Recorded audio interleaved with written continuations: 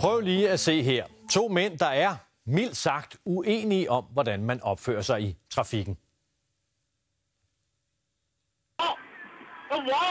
Og også denne her gut er vist temmelig ophidset over, hvordan de andre trafikanter de opfører sig.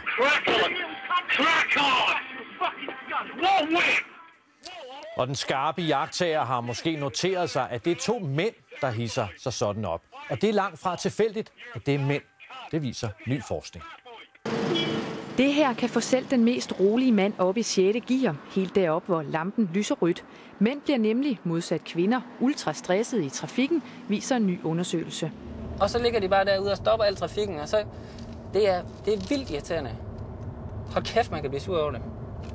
Vi er med Lars Wissing på en køretur gennem Aarhus Midtby. En tur, han tager dagligt, og en tur, som sætter hans puls i omdrejninger. For helvede, mand. Ja, han kørte så over for rødt ham der. Det kan man fandme blive sur over. Det er navigationsvirksomheden TomTom, der har fået lavet den nye undersøgelse.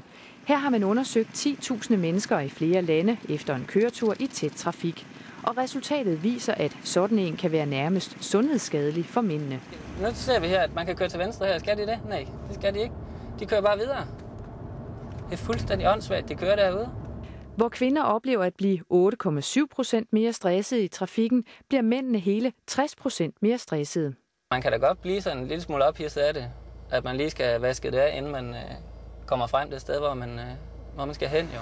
Og der findes en god forklaring på, hvorfor vi kvinder takler køreturen bedre end mændene. Men de sætter sig typisk ind i bilen, de skal bare fra et sted til et andet. Og alt, hvad der så kommer i vejen, det er bare være en forstyrrelse, det er begrænset med det resultat, de skal opnå, nemlig at komme til slutdestinationen. Fordi jeg sætter mig ud i en bil for at komme frem. Jeg sætter mig ikke ud i en bil for at spise min madpakke midt i et kryds. Nogle mænd oplever ligefrem svimmelhed og åndenød efter kø og irriterende bilister, og så bliver de så sure, selv længe efter køreturen er slut. Så hvis man selv har lidt tendens til en gang imellem at køre lidt hurtigt, eller køre lidt, øh, lave nogle overhalinger eller andet den stil, så bliver man meget hurtigere irriteret på andre mennesker, når de gør det samme. Så mænd er i virkeligheden med til at stress hinanden i trafikken? Det kan man godt sige, ja.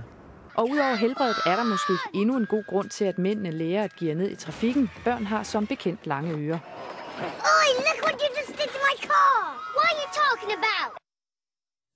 Og som om det ikke var nok, så viser undersøgelsen også, at sang kan gøre kvinder mindre stressede, når de